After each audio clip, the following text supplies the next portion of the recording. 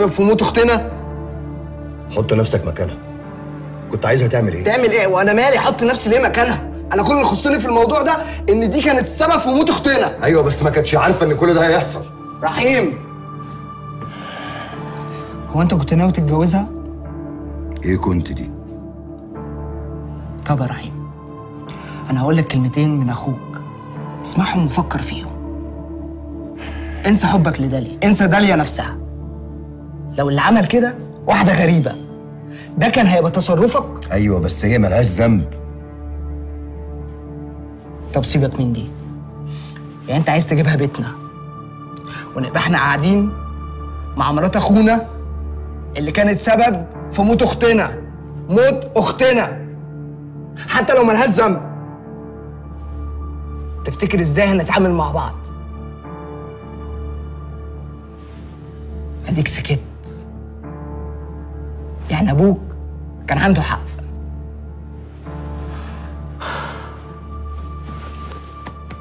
فكر في الكلام رحيم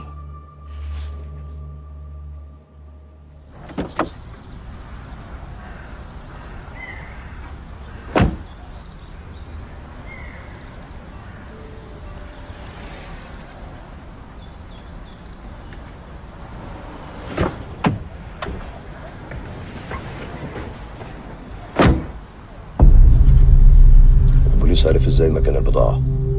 ما هو ده السؤال اللي أنا جاي أسأله لك يا رحيم. أنا؟ أنت قصدك يا حاجة بالظبط؟ أصل مش معقول يعني أنا أو رجالتي هنسلم البضاعة للحكومة. وأكيد مش أنا. أنت عارفة رحيم السوفي كويس. ما أنا عشان عارفاك كويس جاي أسألك. مش عايزة أعمل أي تصرف إلا ما أتأكد منك. أكيد حد من رجالتك هو اللي عملها. لا يا حاجة. البضاعة أول ما بتوصل المخازن رجالتي مالهمش دعوة بيها. يعني إيه؟ يعني شغلي وعملته. التأمين بقى مش بتاعي. الغلط من عند رجالتك. اللي كان أولى بيهم يراقبوا المخازن بدل ما يراقبوني. ماشي. ماشي يا رحيم. بس أنا لو عرفت إنك أنت ليك يد في الموضوع ده تأكد إني مش هسكت. لو سكتي هتقلي في نظري. أنت عندي حاجة كبيرة أوي.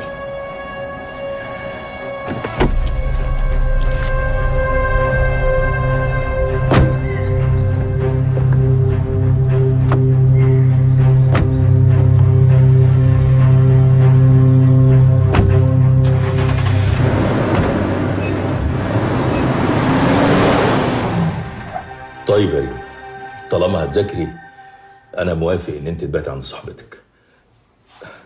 اخرجي يا حبيبتي وتفسحي. اتبسطي. أنا عايزك تبقي كويسة. ريم خلي بالك من نفسك. أنا بحبك. طب يا حبيبتي مع السلامة.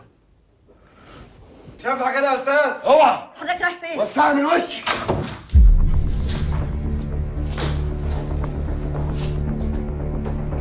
سيبونا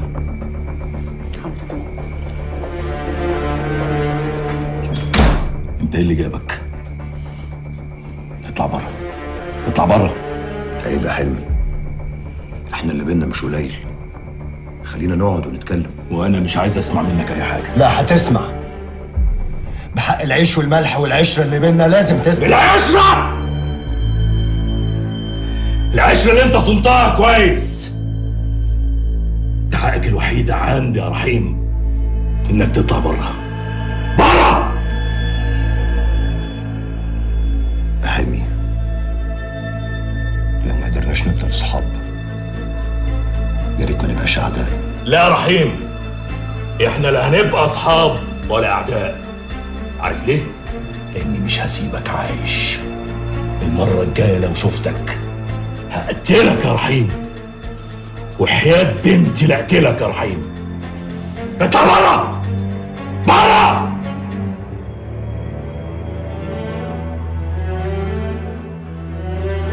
يا خسارة يا صاحبي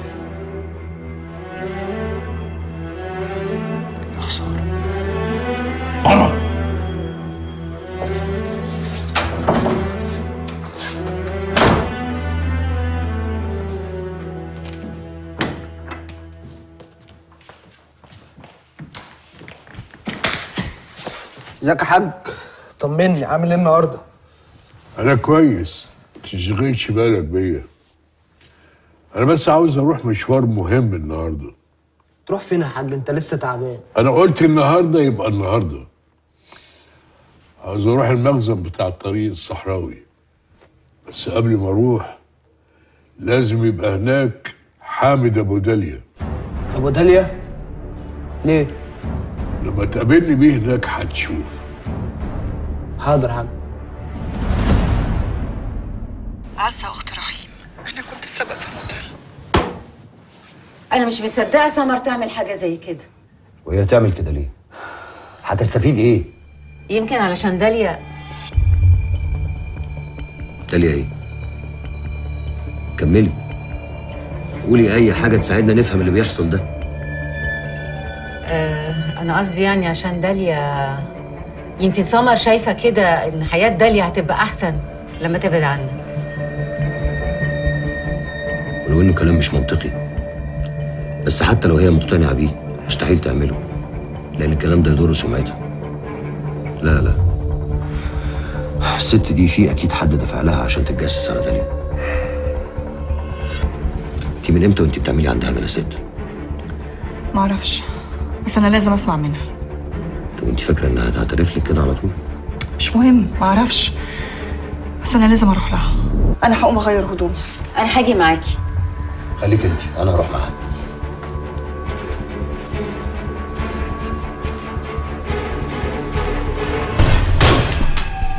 في إيه يا داليا؟ أنا مش فاهمة حاجة. أنا فاهمك يا دكتورة.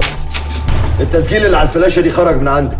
تسجيل إيه؟ في إيه يا داليا ما تتكلمي؟ ده التسجيل بتاعي لما كنت عندك في حد وصله لبيت رحيم وأكيد مفيش حد يعرف يخرجه من هنا غيرك مين اللي خلاكي تعملي كده هم؟ لو ما قلتيش مين أنا مش هستنى علشان أقفل لك العادة دي بالقانون أنت عارفة كويس قوي لو الفلاشة دي راحت النقابة إيه اللي ممكن يحصل داليا أنت موافقه على الكلام اللي بيقوله؟ أنت شايفة إن أنا ممكن أعمل فيكي كده أصلا؟ والله أنا ما بقتش شايفة غير حاجة واحدة بس اللي بقيت بتصدم في الناس يوم ورا التاني كنت فاكراكي صاحبتي وأنا كمان كنت فاكراكي صاحبتي. قبل ما تفكري تشكي فيا بالطريقة دي. ملوش لازمة الكلام ده دلوقتي. أنا عايز أعرف التسجيل ده خرج من هنا إزاي. العيادة اتسرقت من يومين. وده المحضر.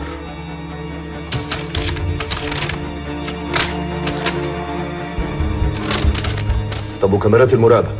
الجهاز اتسرق بكل الداتا اللي عليه. والله؟ طب مفيش حاجة تانية اتسرقت هي كمان؟ لا ما هو انت مش فاتح لي محضر عشان تتكلم معايا بالطريقة دي. انت متخيلة اني ممكن اصدق الفيلم الهندي ده؟ حد دخل العيادة عشان يسرق التسجيل ده تحديدا؟ التسجيل اللي محدش يعرف اللي عليه غيرك انت؟ طب أنا خلصت كلامي ولو ما مشيتش من هنا حالا هطلب لك البوليس. ماشي يا دكتورة. بس أنا بقى لسه ما خلصتش. يلا دالي. صبر. أنا تعبت من الخسارة. تعبت! داليا أنا أكتر واحدة فاهماكي والله العظيم. أنا حاسة باللي انت فيه بس اسمعيني بس. والله العظيم أنا مستحيل أذيكي. صدقيني يا داليا. داليا صدقيني. والله العظيم مستحيل أذيكي. صدقيني. أنا ما بقتش قادرة أصدق حاجة خالص. أنا مستحيل أذيكي يا داليا. طب داليا داليا!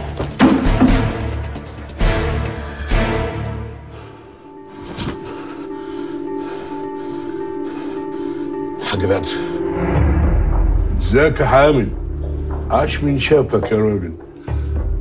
وإيه اللي حصل لكل ده يا حاج؟ طب ما تحكي لي أنت أحسن. قول لي أنت غلطت في إيه؟ أنا ما عملتش حاجة غلط يا حاج. إزاي بقى؟ ده كل ابن آدم خطاء. وأنت غلطت ثلاث غلطات. أولهم سبت زكريا وعزة بنتي يموتوا. التانية إنك ما جيتش ساعتها تحكي لي. التالتة بتحاول دلوقتي تكذب قدامي. صح؟ يا كنت فاكر إن الحكاية اتنست. أنا ما عملتش حاجة. وماليش ذنب في اللي حصل؟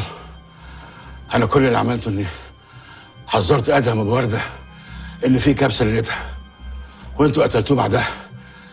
يعني خدتوا حقكم. صح. ولولا ولاد الحلال كان زمان بحر الدم شغال بينا وبين ابو ورده لحد دلوقتي. بس تعالى نرجع ورا شوية كده. وساعتها مين اللي كان بلغ البوليس؟ مش بنتك برضو؟ انت عملت الصح. حذرت معلمك. غلطة يا حاج غلطة. سامحني يا حاج ابوس إيدك سيبني أعيش يا حاج سيبني أعيش. ماشي. انت كنت عاوزني أسيبك تعيش؟ هات لي بنتك مكانك. مش هتعرف صح؟ أنا كمان مش هعرف. عارف ليه؟ عشان خاطر رحيم ابني. أنا مش عاوز يجي اليوم إن ابني يقف قصادي فيه. بس أنا هسيبك تعيش. بشرط. اللي تؤمر بيه يا حاج تاخد بنتك وتخفى عن هنا خالص. ومش عاوز أسمع لكم حس وإلا أنا اللي هقطع حسك بإيدي. فاهم؟ دوروا في داهيه قوم قوم.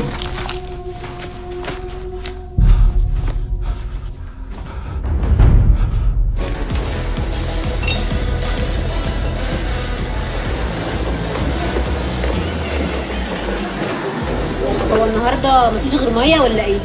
هو اللي موجود. وبعدين كيف الدماغ يشتري بقى؟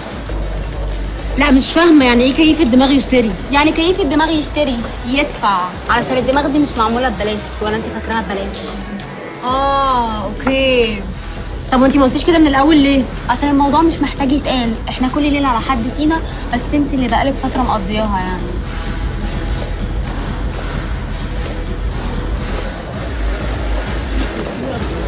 تمام. النهارده عندي. بجد؟ وهتتصرفي إزاي بقى؟ مالكيش دعوة هتصرف.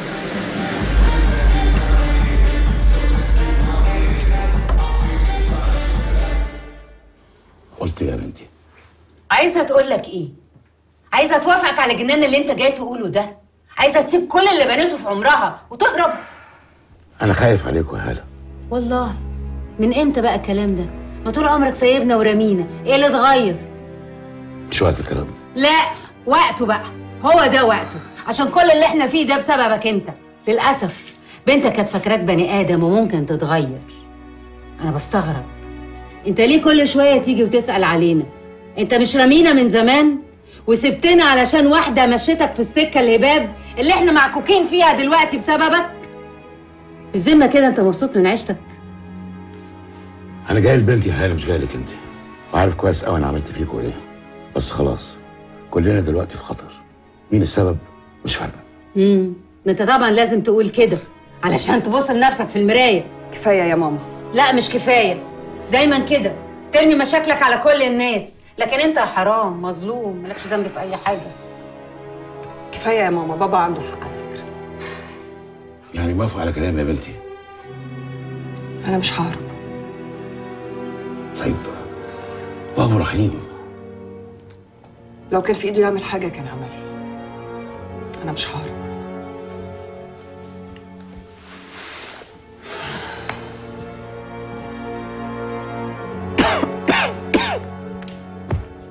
مساء الخير. مساء النور. انت فين يا حبيبي الاستعادي رحيم سأل عليك.